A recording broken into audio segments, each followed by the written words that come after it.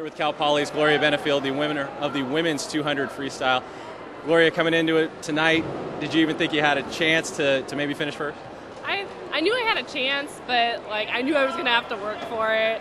And obviously my coach, you know, he's giving me all the support that I could ask for. And I had fun with it. Like I wasn't really expecting a lot, especially like this morning. I had fun with like um, I know um, I definitely wasn't expecting it to go that fast this morning. And so it was great. I went my best time. You know, that's all I could ever ask for. this is only your second year to come down to the Big West Championships and actually win a title. What does that mean to you? A lot.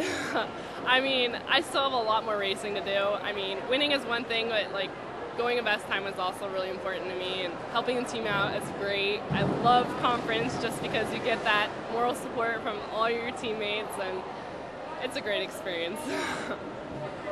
Even though your team isn't doing that well overall, how are you guys as a team, men and women?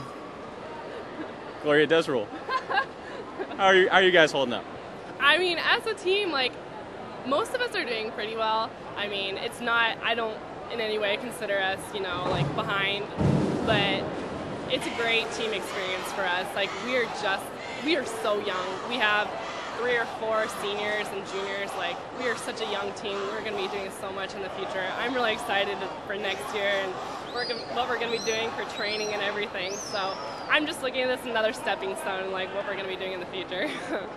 well, congratulations on your championship. Good luck the rest of the way. Thank you so much.